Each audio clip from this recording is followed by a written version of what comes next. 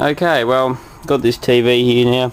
Um, I've just repaired the boot last night. I um, cleaned it up with some petrol and used some seals all shit to um, thing it down. And there's me highly technical insulating sheet on my flyback transformer. So let's see how she goes. Sounds perfect. I can hear a very slight crackling from there but barely anything. There's just a few tiny little pop pop pops. So Christ I'm happy with that compared to what it was. So that's very good. And there's the flyback transformer. That doesn't seem to be arcing since I put that sheet of insulating material there. Or it's really just a sheet of plastic but it'll do the job. There's the guns in there. They're glowing nicely. Don't know whether you can hear that though.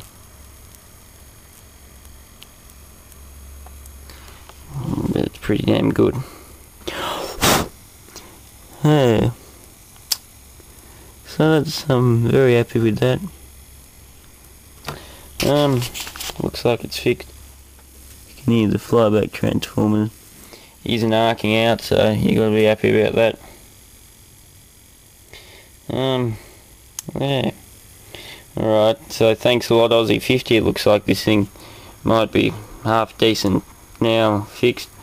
Um, I just have to tune a set top box into it one day and it'll be all ready to go. So I don't think there's anything of a weird picture on the other side. I suppose we can have a little bit of a look. It's not green or blue or anything, I don't know. No. Doesn't look like there's any horizontal or vertical lines or anything. Now just take me lead off here and we'll see what sort of picture we get without a transformer. That's made of What the fuck's that noise?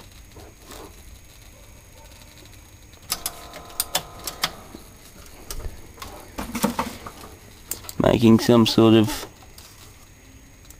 odd crackling noise. You know, in my day-to-day -day life... You know what that's about? It's only when you plug that in. Might be from the speaker, I think. Or it might be... Might be that connection, I don't know. I'm not quite sure what it is.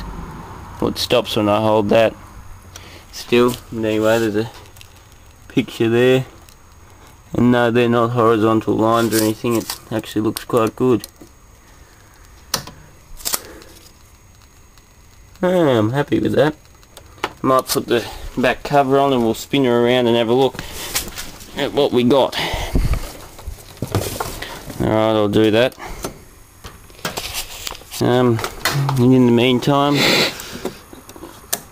there you go alright. Alright so I'm back here. The TV plugged in everything. We'll see what happens now. After its repair it's got some sort of speaker sound. I don't know what that go with that is. It's got a slight crackling sound. That's not a bad picture considering um it's just got straight up and into the aerial. No amplifier or anything. Yeah. So anyway, it's 10, 9, oh, can't say the same for 9. Sometimes if you jiggle the knob around it comes good. There you go, see? Told you.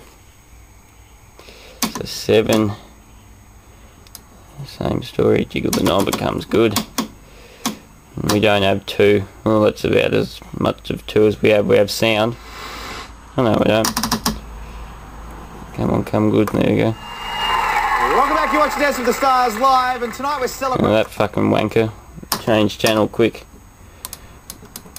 There you go. I don't know what the fuck that's about. A bow down the middle of the ocean. So where's 10? There we go. And that is, uh, is it? I don't know what the fuck it is anyway. Thank God you're here or something. Well done, gentlemen. Back to your seat. Thank you very much, Sean. Is it? No, no. It's my generation or some shit like that. So anyway, I'm happy with that. That's good. So thanks a lot Aussie 50 once again. You've saved my life and saved the life of the poor old TV.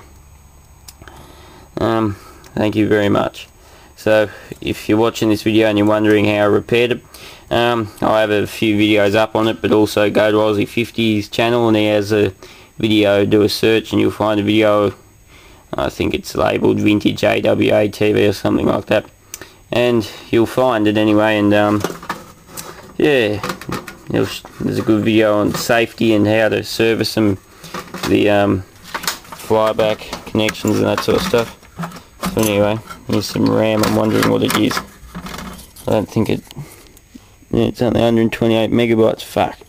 This computer 128 megabytes of RAM that's a laugh isn't it